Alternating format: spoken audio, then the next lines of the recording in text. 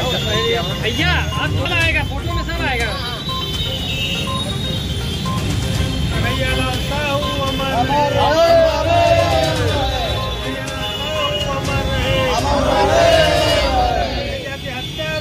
फांसी हो। फांसी हो फांसी हो।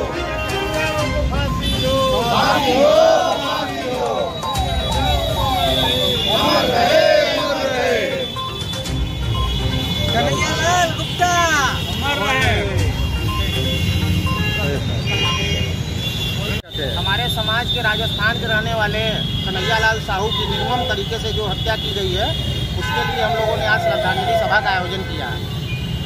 क्या कहना चाहेंगे क्या मांग करते हैं? कहना चाहते हैं कि कन्हैयालाल साहू के जो भी हत्यारे हैं उनको तत्काल फास्ट ट्रैक कोर्ट से मुकदमा चला के उनको फांसी की सजा दी जाए और हमारे साहू समाज के लोगों की सुरक्षा की जाए और कन्हैया साहू के परिवार को भी विशेष सुरक्षा दी जाए और उनको सरकार की तरफ़ से कम से कम एक करोड़ रुपए का मुआवजा दिया जाए।